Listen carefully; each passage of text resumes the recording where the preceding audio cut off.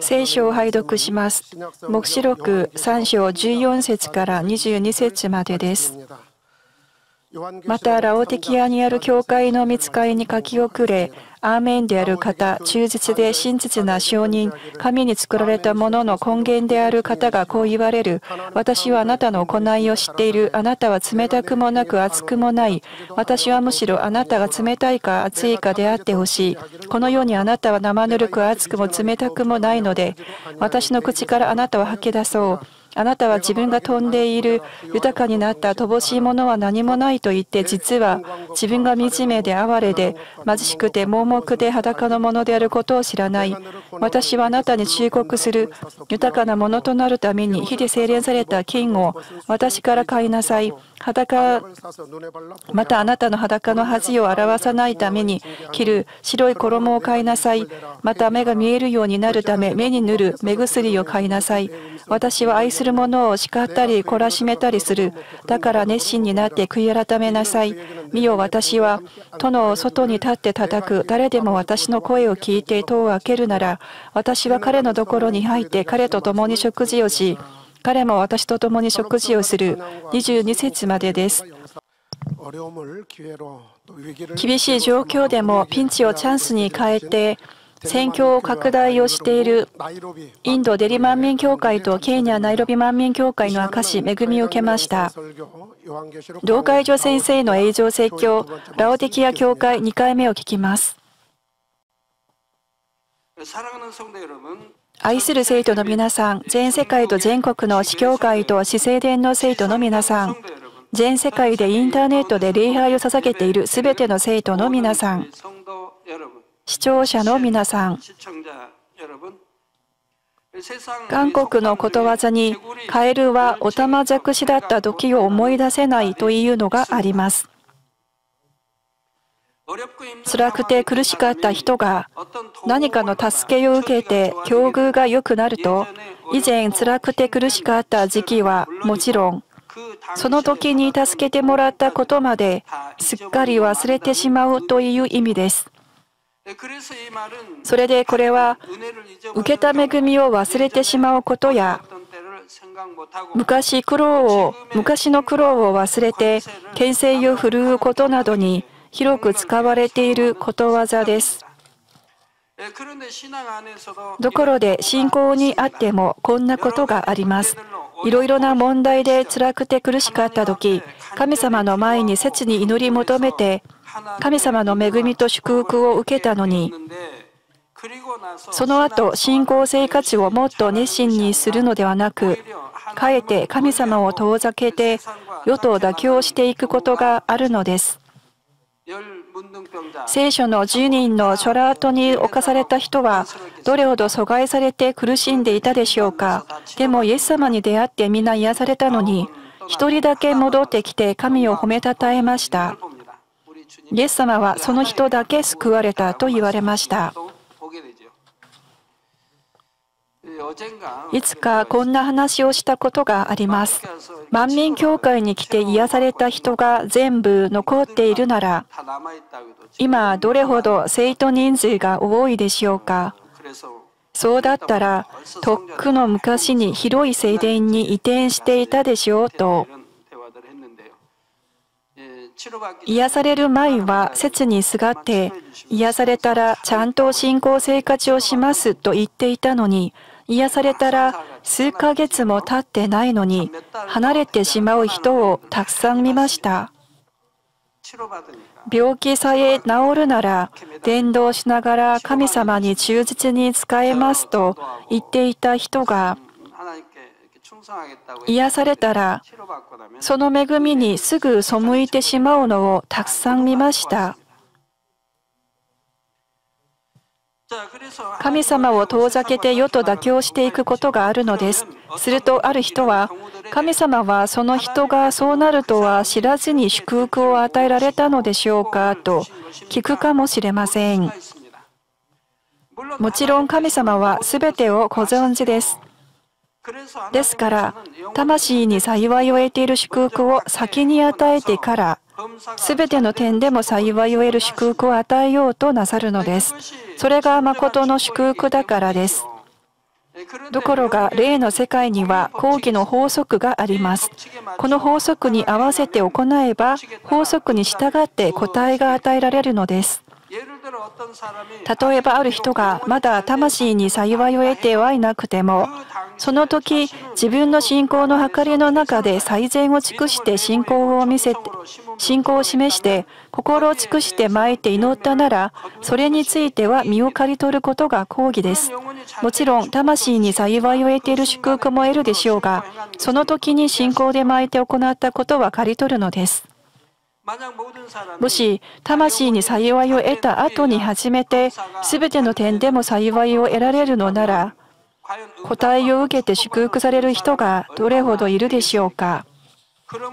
したがって神様は講義の法則の中で各自の信仰の計りに応じてその都度答えと祝福をくださるのです。ところで重要なことは、このように答えを受けて祝福された後です。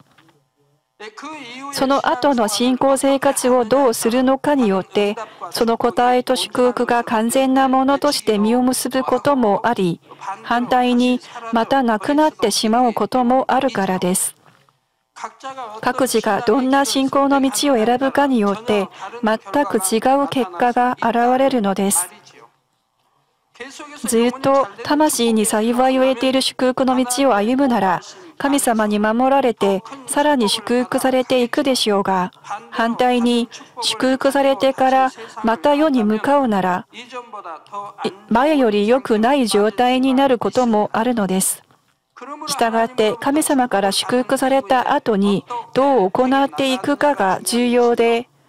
その祝福をどう使うかも重要なのです。ところが時には教会も神様がくださった祝福を間違って使う場合があります。例えば、ある教会が熱心に祈って神の国のために忠実に忠実に働くと、神様はリバイバルの祝福も物質の祝福もくださって、生徒たちにも相応の祝福をくださいます。そうするうちに、教会と生徒たちが世の富と名誉と権勢を持つようになることもあります。豊かで権勢のある生徒がたくさん集まって、世でも名のある教会になるのです。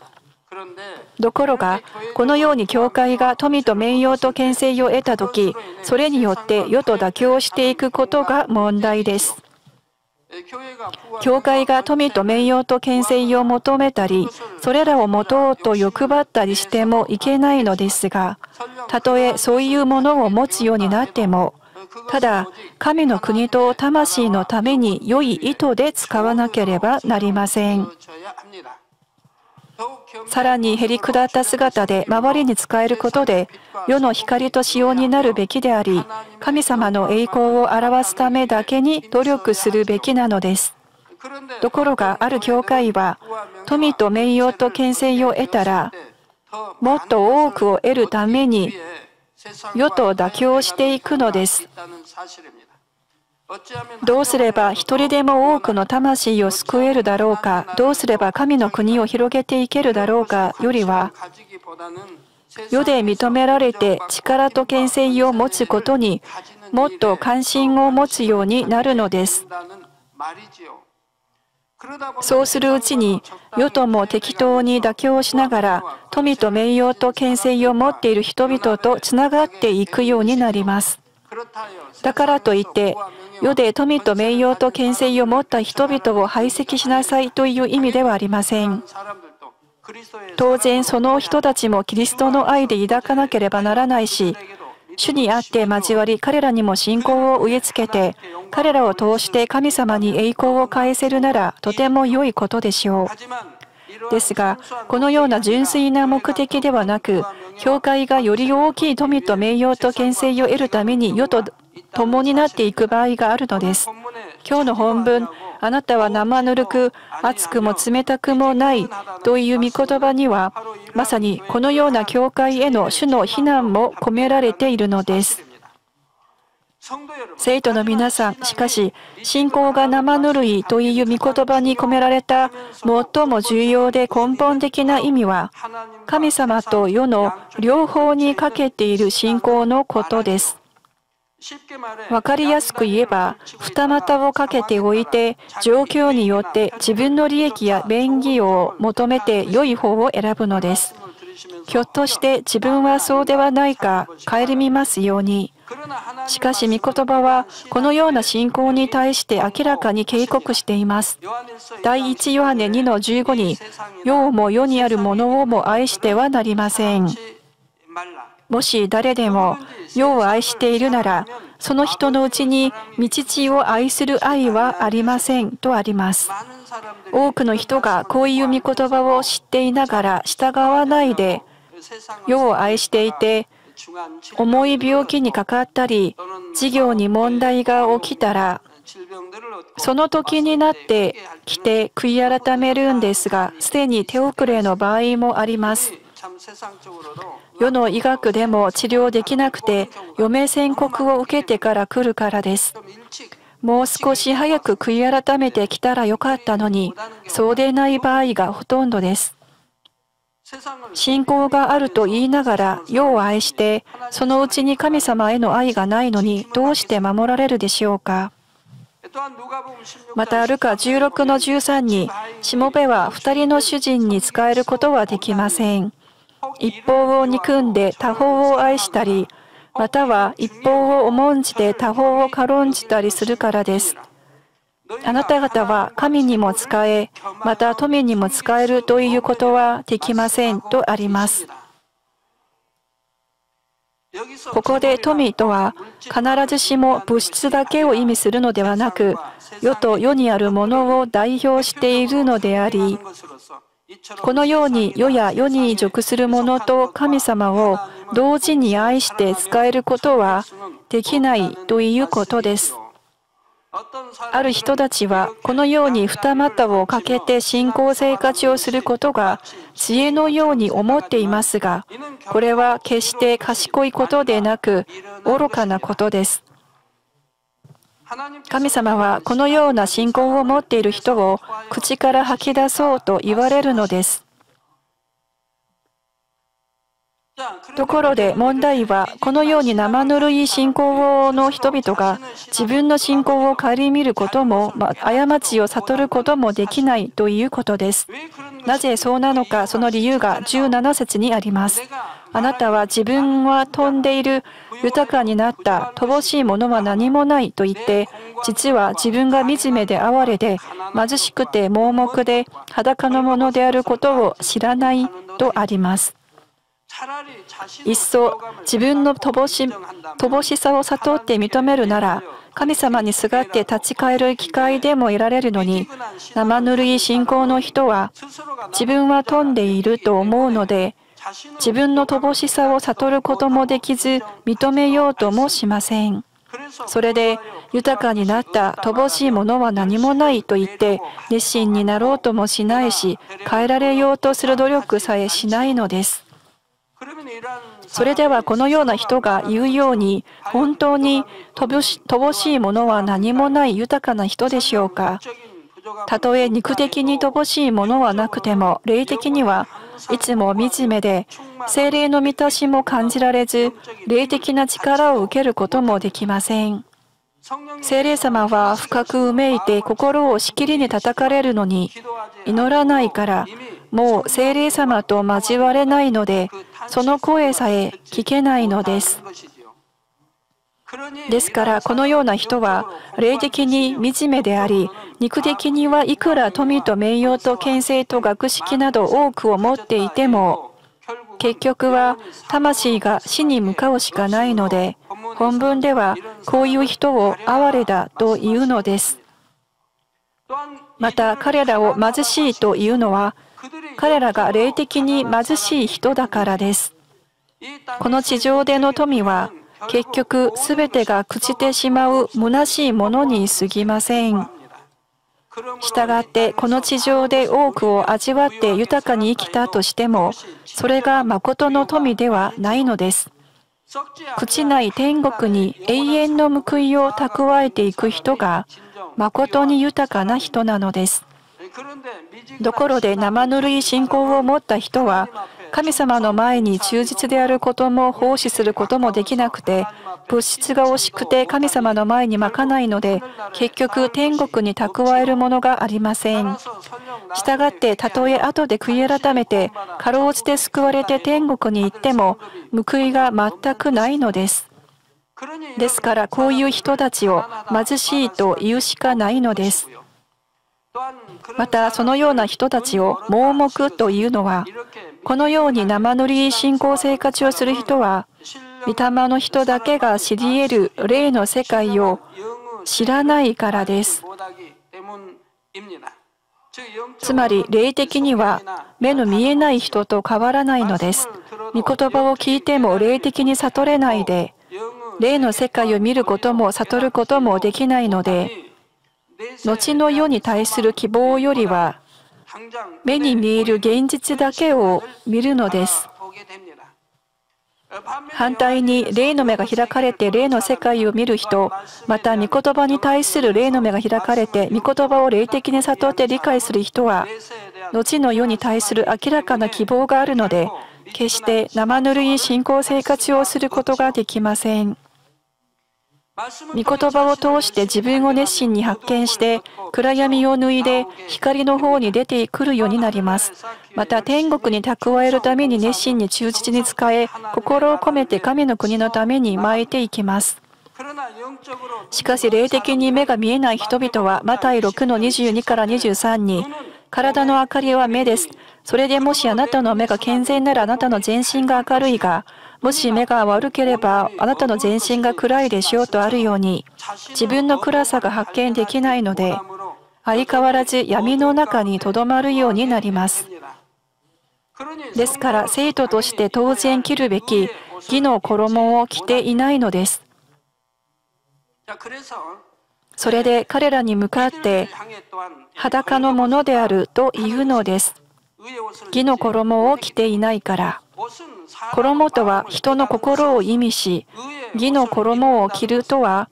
心に割礼をして心が正しくなるという意味です。もう一度読みます。衣とは人の心を意味し、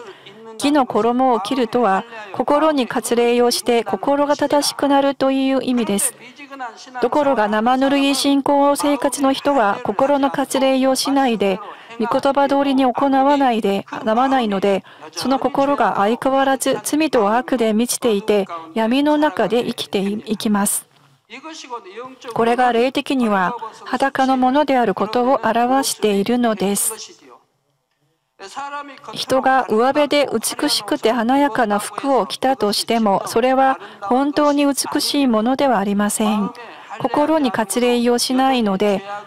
相変わらず罪と悪を抱いているならいくらいい服を着ていても神様がご覧になる時は裸の恥を表しながら歩いているようなものです。ですから皆さんは肉的な要望の美しさではなく心の美しさを表すような義の衣を着ますように。黙示録19の8に花嫁は光り輝く清い麻布の衣を着ることを許された。その麻布とは生徒たちの正しい行いであるとあります。また天国についての例えで、マタイ22の10から14に、それでしもべたちは通りに出ていて、良い人でも悪い人でも出会ったものを皆集まったの集めたので、宴会場に客でいっぱいになったところで王が客を見ようと入ってくるとそこに婚礼の礼服を着ていない者が一人いた。そこで王は言った。あなたはどうして礼服を着ないでここに入ってきたのですか？しかし彼は黙っていた。そこで王はしもべたちに、あれの手足を縛って外の暗闇に放り出せ。そこで泣いて歯ぎしりするのだと言った。招待される者は多いが、選ばれる者は少ないのですとあります。暗闇が少しもない天国では白い麻布の衣を着ますが、これは生徒たちの正しい行いだとあります。天国は正しく御言葉通りに行って罪に染まった肉の汚れた衣を脱ぎ捨て美しい礼服である義の衣に着替えた人だけが入れるところです。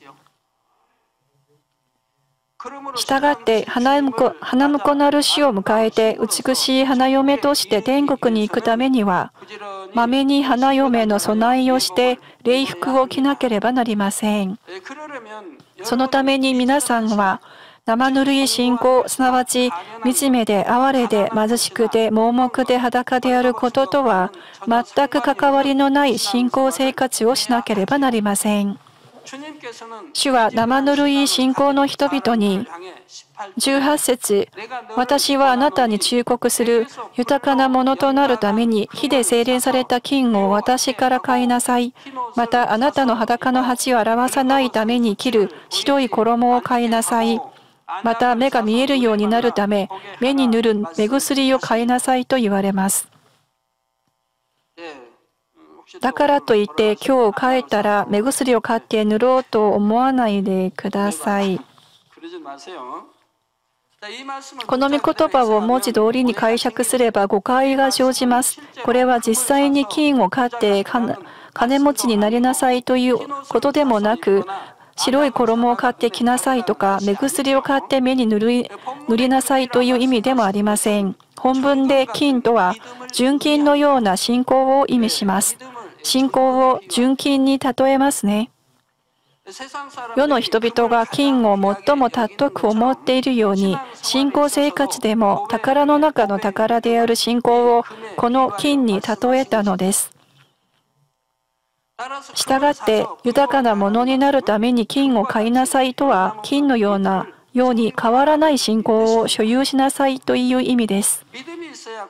信仰があってこそ救われて天国に行くことができ、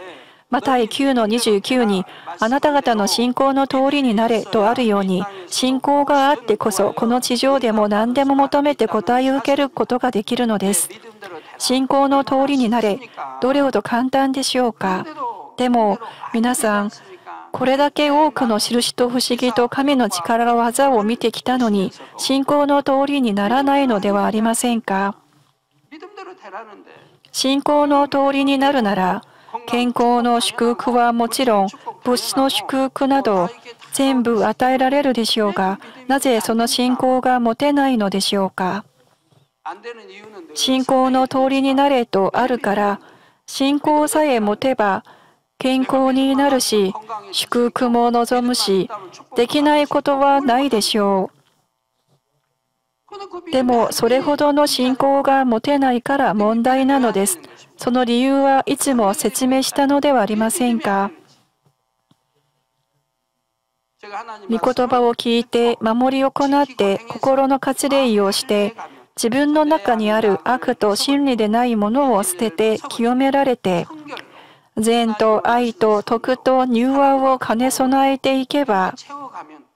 ローマ12章にあるように、神様が上から信じられる霊の信仰を与えてくださるのです。自分が聞いて知識的な信仰は持てますが、それで答えを受けられるのではなくて、霊の信仰を持ってこそ信仰の通りになるのです。この信仰は神様が望んでおられる心に変えられようと努力すれば持つことができるのです。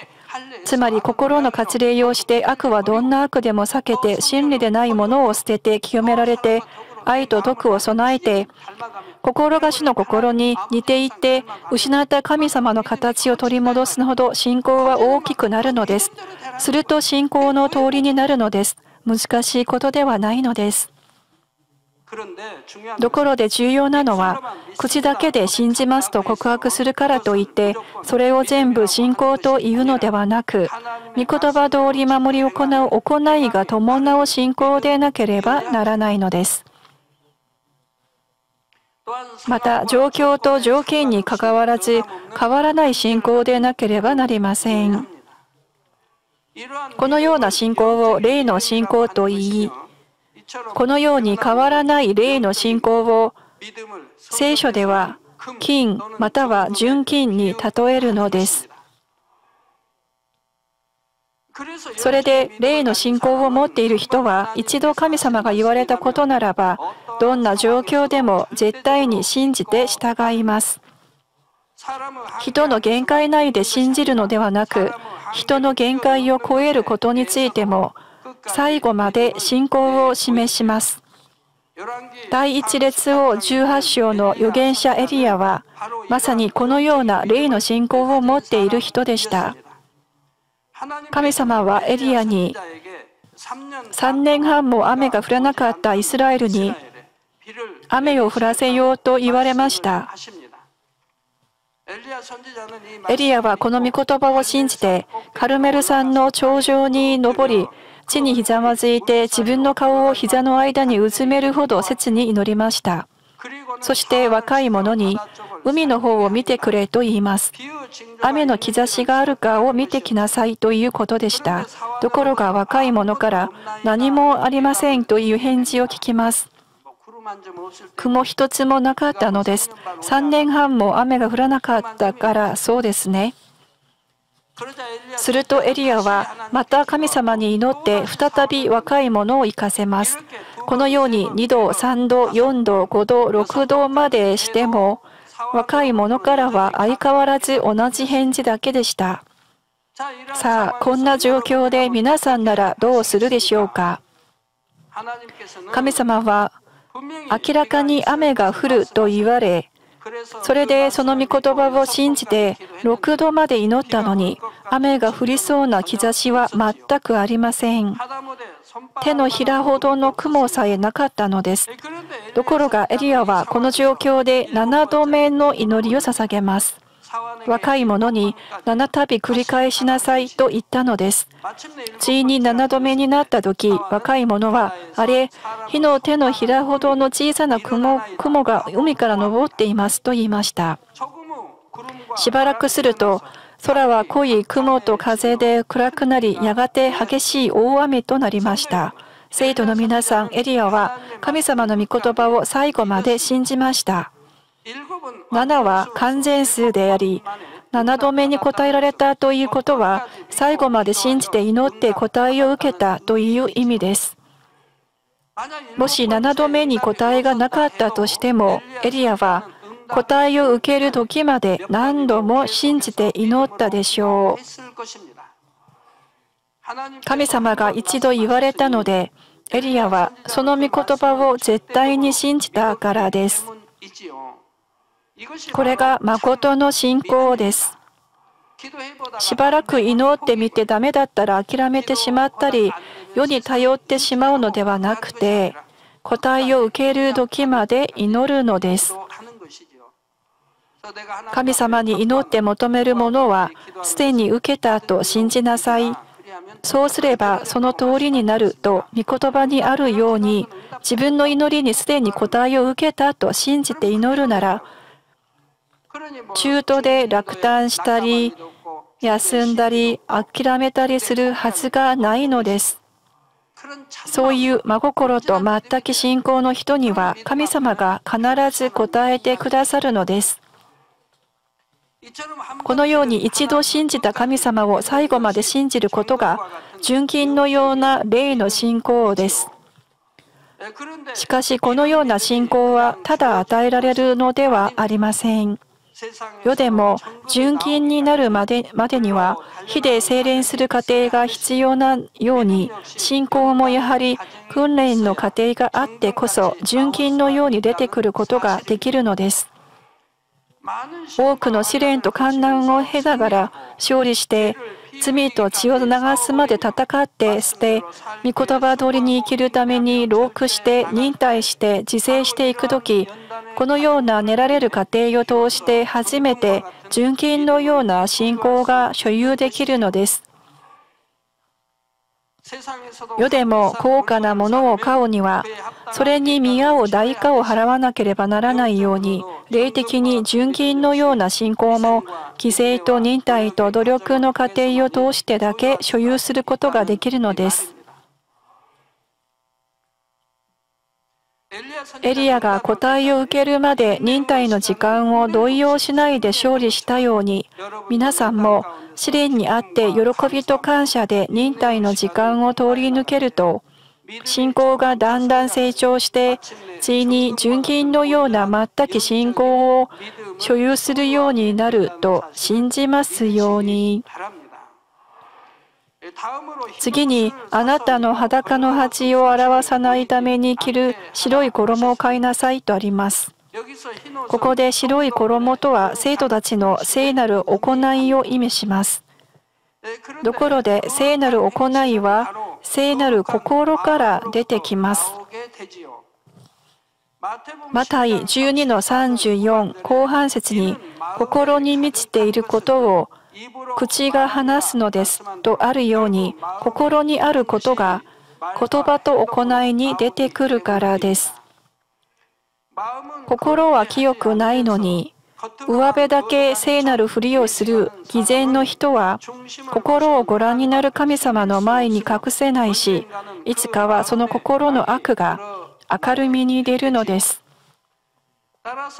したがって本文の白い衣を着るという御言葉は真理でない暗い黒い心を捨てて真理の白い心に変えていくという意味です。こうする時だけ先にも言ったように木の衣を着るようになり裸の恥が現れないのです。ところが今日どんなに多くの人が自分が裸であることも知らずに裸の恥を表しているでしょうか。それどころか獣にも劣ることをしながらもそれを恥だと思わない人もいます。皆さんは罪で染まった黒い心を持っていながらも自分の罪と暗闇が発見できず神様の形に作られた人の本文を失っていることが霊的には裸の恥でありこれこそが本当に恥ずかしいことだと知らなければなりません。神様を信じると言いながらも自分が裸であることさえ悟れないこんな愚かな人になってはならないでしょう。こういう人は御言葉に照らして自分の姿さえも発見できず霊的に盲目になっているのです。彼らに向かって主は目が見えるようになるため目に塗る目薬を買いなさいと言われます。これは霊的な目が開かれなければならないということです。皆さんが信仰を持って御言葉通りに生きていると、だんだん精霊の声も聞くようになり、真理が何か、罪が何か悟るようになり、霊的な分別力が生じるのです。これが霊の目が開かれるということです。霊の目が開かれるとは、必ずしも霊の世界のものを見ることだけを言うのではなく、こういう意味もあるということを知っていてください。見つかりを見たりすることだけを言うのではないのです。もう一度読みます。信仰を持って御言葉通りに生きていると、だんだん精霊の声も聞くようになり、真理が何か罪が何か悟るようになり、霊的な分別力が生じるのです。これが霊の目が開かれるということです。霊の目が開かれるとは2つの意味があるのです。信仰があっても幻とかが見られない人もいるのではありませんか？だからといって見た人が皆清められたという話でもありません。神様が恵みをくださって見られるのです。御霊の人でも見られない人もいるから失望する必要もないし霊の目が開かれることには2つの種類があるのです。そしてこのように霊の目が開かれた時御言葉を聞いても理解できて天国への希望も与えられ御言葉に照らして自分を発見して真理に変えられるのです。したがって霊の目が開かれるということは実際に霊の目が開かれて霊の世界を見るという意味もありますがさらに重要な意味は御言葉を聞いて神様の御心を悟ってそれを通して自分自身を真理に変えていくことなのですこのように霊の目が開かれて神様について知りその方の御心が何かを悟っていく人ならば世と共になることもなく何としてでも御言葉に照らして自分の暗闇を発見して真理に変えられようと努力します。でも教える立場にいても霊の目が開かれなければ悟れないから御言葉を知識的には知っていて教えてはいても相変わらず罪を犯すのです。だからそういう人に教わる人たちも霊的に変えられにくいのです。教える人が霊の目が開かれて、霊の世界を明らかにして、本人が御霊によって歩みながら教えてこそ、教わる人たちも変えられるのに、本人が変えられないままいくら教えても相手は変えられないのです。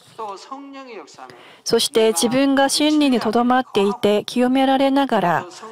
柔和と愛と徳と善を兼ね備えながら御言葉を伝えてこそ精霊が働いて相手の心が熱くなって変えられるようにしてくださるのです。このような人が光の中を歩んでいる人で神様とさらに深い交わりの段階に入ってその分神様に愛されるようになるのです次の時間はラオデキア教会への残りの御言葉を説明して7つの教会にくださったそれぞれの御言葉をもう一度整理して7つの教会の御言葉を締めくくります愛する生徒の皆さん、皆さんはほとんど初めの愛の熱さと炎のような精霊体験の中で満たされて走っていった時間があったと思います。もちろん今も変わらず初めの愛の熱さで精霊に満たされて走っている方々がいます。しかしそうでなく初めの愛の熱さを取り戻すためその時のように精霊に満たされるために今、また勤めに勤めている方々もいます。しかし、自分が初めの愛を失ってはいないのか、精霊の満たしを失って信仰生活をしていないのか、関心さえない人々もいます。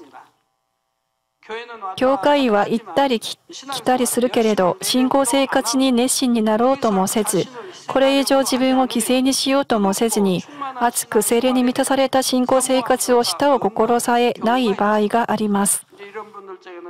使命を任せようとしても、断る人もいます。使命を果たすために時間を割くのが面倒だからか、神の国の使命なのに受けようとしない人もいるのです。心はあると言っても全く行いが伴わないのです。これが生ぬるい信仰です。皆さんに病気やいろいろな問題が起こったなら、私の信仰は生ぬるい信仰ではないかと、御言葉に照らして正確にチェックしてみますように。生ぬるい信仰の人は、よく病気にかかったり、災いにあったり、いろんな問題が起きたりします。今は健康だと思って思っても一瞬です。突然、いろんな問題が起きるのです。神様に守れないから、こうやっていつも講談から伝えても、聞き流してしまう人がいます。すると後で必ず後悔する時が来るのです。今週も私のところに来て、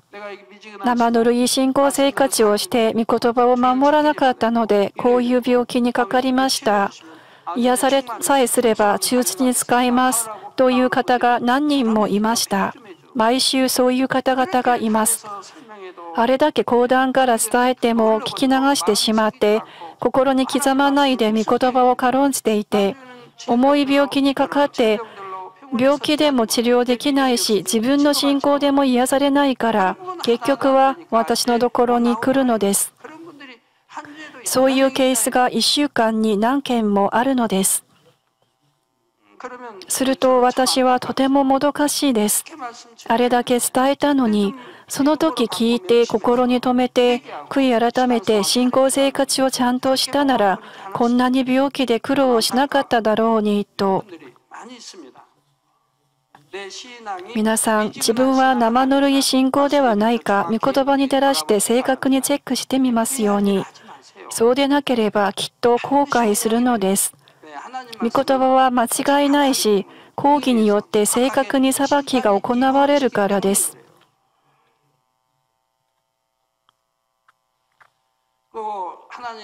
神様を見つけた時の初めの愛をどうして失うのでしょうか？人との間でも初めの愛を失ってしまえば不幸になるのではありませんか？互いに愛して結婚したのに後で離婚したりとか？しかも万軍の主神様との愛なのに人がそれを断ち切るなんてあり得るでしょうか？万軍の主創造主であり父なる神様の愛をいただいたのにその愛を捨てるなんて話になりますか？父なる神様との初めの愛をさらに消化させていかなければならないのに信玄発祥に私を愛する者を私は愛する。私を熱心に探す者は私を見つけるとある通りに、初めの愛よりもっと深く神様を愛し、愛されて、神様を見つけていけば、どれほどいいでしょうか。すると、金も銀も神様のものだから、それが自分のものになるし、名誉、権勢も与えられるし、いつも健康だし、災いに合わないし、祝福されるし、祈りに応えを受けるから、どれほどいいでしょうか。そして清められていけば、心に悪がないから、喜び、感謝、平安、幸せがあふれるでしょう。人を裁いて罪に定めないし、憤らないから、どんな人とも平和が作れるし、どれほど幸せでしょうか。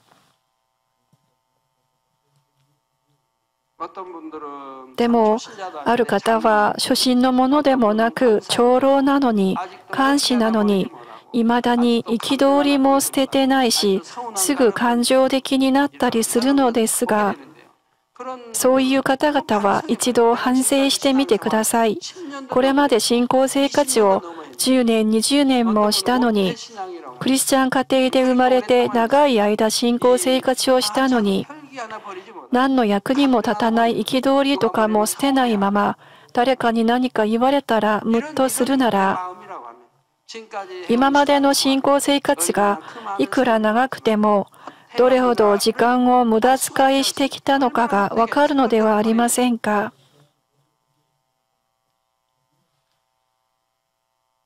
それで生ぬるい信仰だったら今からでも直ちに悔い改めて立ち返りますように。初めの愛と初めの行いを失い、精霊の満たしを失っても決していけませんが、それよりさらに大きい問題は、失った時取り戻そうと努力もしない生ぬるい信仰です。生ぬるい信仰の一番大きい問題は、世を愛するから、それを断ち切りたがらないということです。いつもメッセージは聞いているから、そうしてはいけないとは知っていても、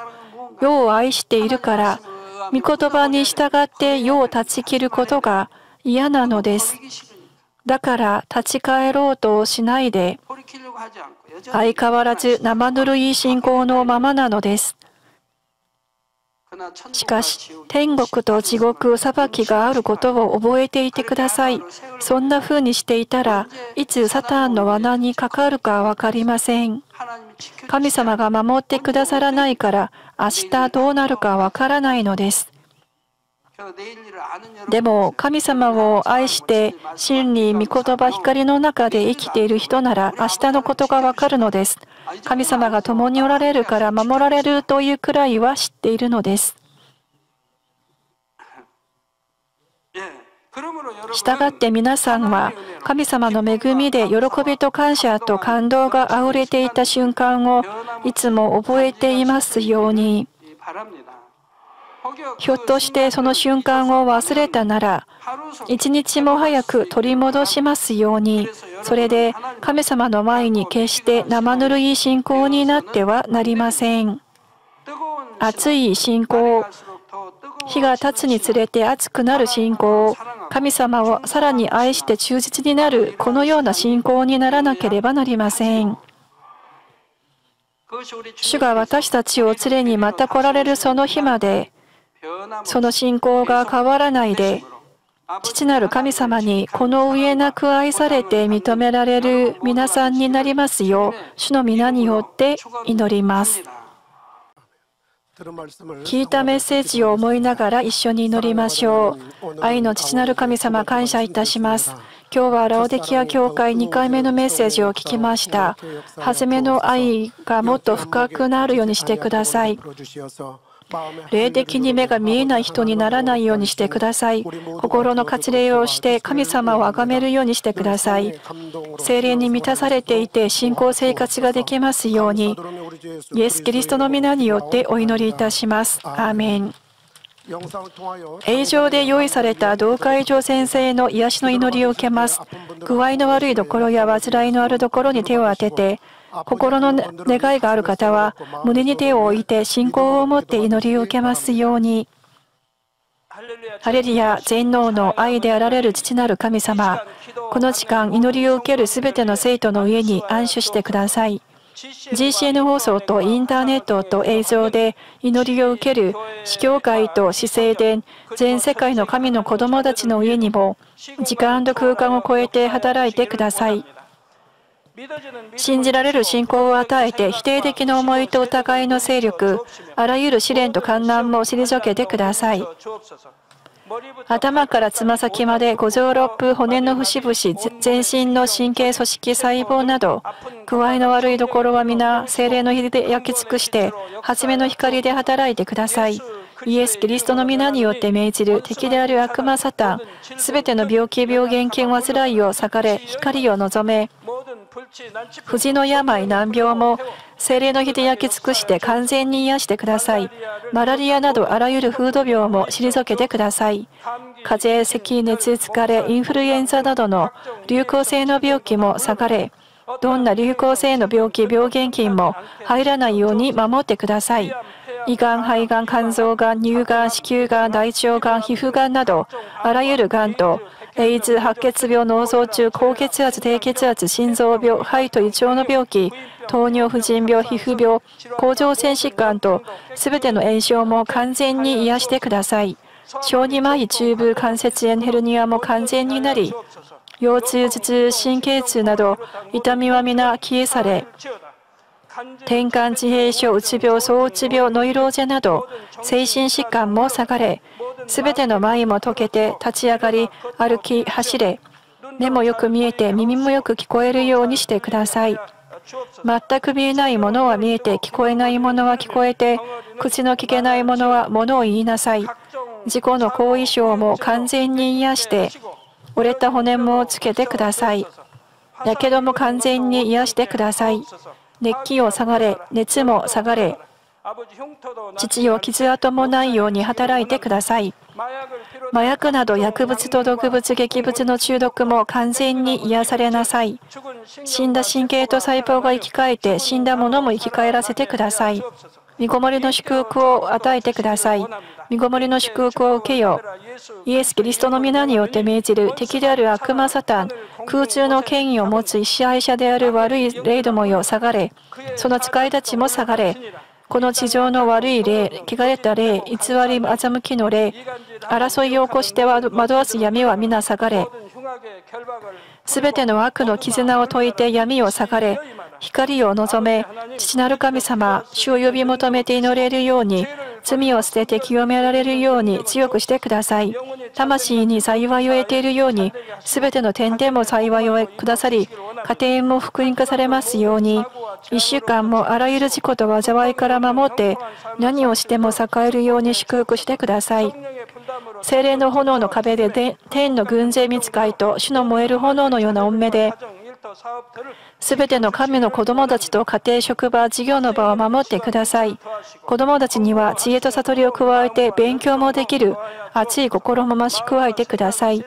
心と思いをこの世に奪われないように守ってくださり、神様を熱く愛するよう祝福してください。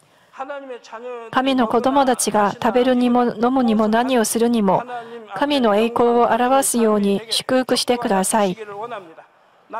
私は神様を見つけた、体験した、答えを受けた、祝福されたと証しする口になるよう、お働きください。父なる神様、感謝いたします。栄光をお受けください。我らの主イエス・キリストの皆によってお祈りいたします。アーメン。涙の中おらる主愛の主。それは命与える救いの。